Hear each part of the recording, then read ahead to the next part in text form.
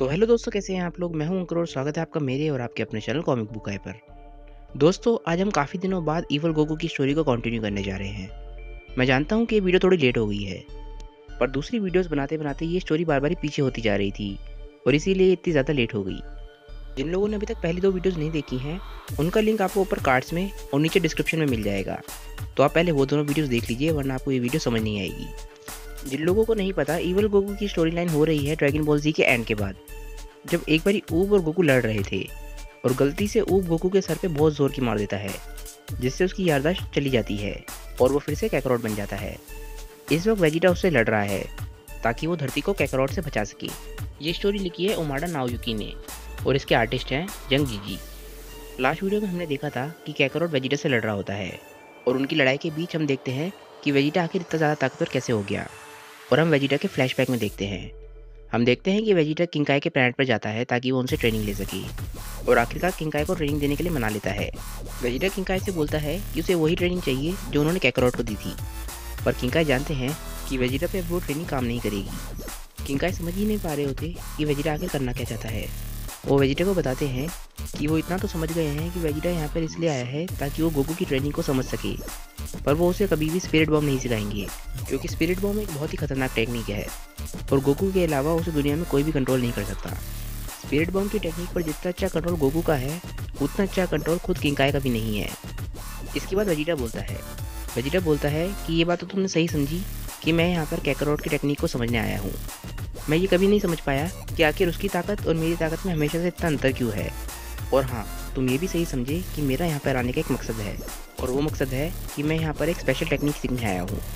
और वो टेक्निक है कायोकेन टेक्निक किंकाई बोलते हैं कि अच्छा तो तुम यहाँ पे कायोकेन सीखने आए हो। पर मुझे सच में समझ नहीं आ रहा कि तुम कायोकेन क्यों सीखना चाहते हो। जब तुम सुपर सीन में बदलते हो तो तुम अपनी ताकत को ऑलरेडी मल्टीप्लाई करते हो। और कायोकेन अपनी ताकत को मल्टीप्लाई करने की टेक्निक है। तो मेरे हिसाब से तुम्हारे लिए ये टेक्निक बेकार है। तुम उससे अपनी ताकत दो या तीन गुना ही बढ़ा सकते हो। और वो तुम्हारी बॉडी पे काफ़ी ज़्यादा स्ट्रेन भी डालती है। तभी किंकाई समझ जाते हैं कि वेजिटा का असली मकसद क्या है। वो चाहता है कि सुपर सेन में बदलने के बाद वो कायोकेन की टेक्निक को यूज़ कर सके। किंकाई वेजिटा को बोलते हैं कि तुम पागल हो गए हो। मैं तुम्हें ये नहीं करने दूँगा। वेजिटा बोलता है कि तुम जितना लगते हो उससे ज़्यादा समझदार हो। इसके बाद वेजिटा बोलता है कि मेरे लिए कुछ भी इम्पॉसिबल नहीं है। इसके बाद वेजिटा किंकाई को अपना पॉइंट समझाता है। वो बोलता है कि जब एक Saiyan super Saiyan stage four को पा लेता है उसके लिए कुछ भी इम्पॉसिबल नहीं है। किंकाई कुछ समझ नहीं पाते।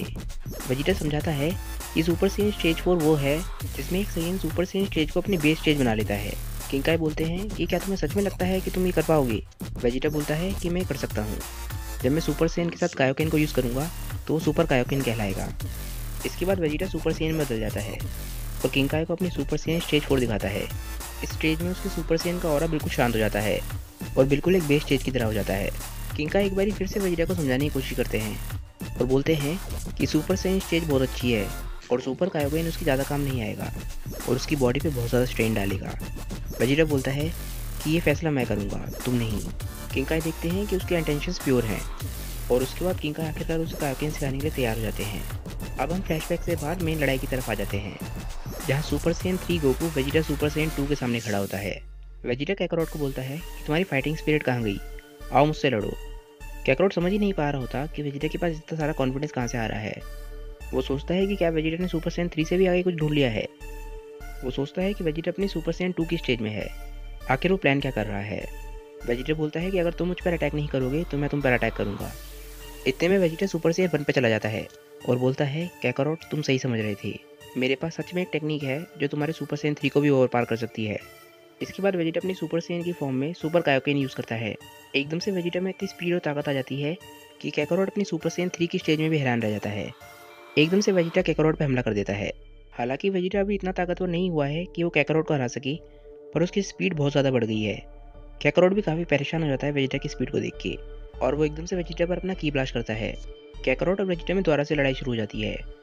और इस बार लड़ाई थोड़ी टक्कर की हो रही होती है। हालाँकि कैकारोट अपनी सुपर सेन थ्री की स्टेज में है और वजीरा अपनी सुपर सेन वन कायोकिन की स्टेज में है, पर यह चीज़ कैकारोट को देख के पता चल रही होती है कि कैकारोट के लिए आसान नहीं होगा। वो बोलता है कि मैं तो भूल ही गया था कि कायोकिन कितना ज़्यादा ताकतवर हो सकता है। कैकारोट वेजिटा से बोलता है कि वेजिटा तुम अभी भी इतने तेज नहीं हो कि मुझसे बच के निकल पाओ। और एकदम से कैकारोट वेजिटा को बहुत ज़ोर की गुस्सा मारता है। कैकरोट और वेजिटा की लड़ाई जारी रहती है और दोनों को देख के पता चल रहा होता है कि ये लड़ाई हर सेकंड के साथ कैकरोट के लिए आसान होती जा रही है और वेजिटा के लिए मुश्किल होती जा रही है। वेजिटा इस वक्त किसी नॉर्मल शख्स से नहीं लड़ रहा है। वेजिटा एक ऐसे वॉरियर से लड़ रहा है जो शायद इस दुनिया का सबसे बेहतरीन वॉरियर है। कैकरोट वेजिटा को बहुत बुरी तरीके से पीट रहा होता है पर कैकरोट कुछ समझ आता है। वो बोलता है, ये बहुत अजीब बात है। हम दोनों की ताकत में बहुत ज़्यादा गैप है। पर मैं जब भी उसे हिट कर रहा हूँ, मुझे ऐसा लग रहा है कि उसे जरा सी भी चोट नहीं पहुँच रही है। वेजिटा कैकरोट को देखता है और बोलता है कि लगता है इसे समझ आ गया। अब मुझे इसे बता देना चाहिए कि यहाँ पे क्या हो रहा है। हम देखते हैं कि गोहान अभी भी ड्रैगन बॉल्स को ढूंढ रहा होता है। और ड्रैगन बॉल्स के लिए उसे रेडार चाहिए। तभी उसे ट्रंक्स और गुटन मिल जाते हैं, जो कि ड्रैगन बॉल रेडार उसके पास लेकर आ रहे होते हैं। गोहान के पास पहुँचे ट्रंक्स और गोडन उससे पूछते हैं कि आगे क्या चल रहा है। पिकलो ने पूरी बात नहीं बताई, बस ये बताया कि ड्रैगन बॉल्स को इकट्ठा करना है। ट्रंक्स हालाँकि पूरी बात समझ चुका होता है। वो गोहान से बोलता है कि गोकू और मेरे फादर की कीज काफ़ी देर से टकरा रही है और गोकू का और काफ़ी अलग है। मैं समझ सकता हूँ कि आखिर क्या हो रहा है। गोहान ट्रंक से काफ़ी इंप्रेस होता है और वेजिटा की बढ़ाई करता है जो ट्रेनिंग उसने ट्रंक्स को दी है। गोहान ट्रंक से बोलता है कि अभी मैं तुम्हें पूरी बात नहीं बता सकता। हमें सबसे पहले ड्रैगन बॉल्स ढूंढनी है। इसके बाद गोटेन ट्रंक्स और गोहान तीनों अलग अलग रास्ते पर चले जाते हैं ताकि वो ड्रैगन बॉल्स को जल्द से जल्द ढूंढ सके। गोहान ये सोच के काफ़ी दुखी हो रहा होता है कि आखिर उसके पिता के साथ ही क्या हो गया? वो बोलता है कि आप ऐसे कैसे हो गए? आप कितने साफ़ दिल के हुआ करते थे। आज तक मैं जितने भी लोगों से मिला हूँ, मैंने आपसे प्योर दिल वाला इंसान कभी नहीं देखा। आखिर आपके साथ ही क्या हो गया? मैं आपको ठीक करने के लिए अपनी पूरी कोशिश करूँगा। कैकरोट और वेजिटा की लड़ाई में हम देखते हैं कि कैकरोट को समझ आ चुका है कि वेजिटा क्या कर रहा है। कैकरोट वेजिटा से बोलता है कि वेजिटा ये नाटक तुम कब तक करोगे? मुझे पता है कि मेरे अटैक तुम पे काम नहीं कर रहे हैं। मुझे समझ आ गया है कि जैसे ही मैं तुम्हारे को अटैक करने वाला होता हूँ, तुम अपना कायोकिन बढ़ा देते हो और दस से ऊपर ले जाते हो। वेजिटा हंसता है और बोलता है कि, कैकरोट, आखिर तुम्हें समझ आ ही गया। वेजिटा बोलता है कि, लगता है कि अपना असली प्लान दिखाने का समय आ गया है।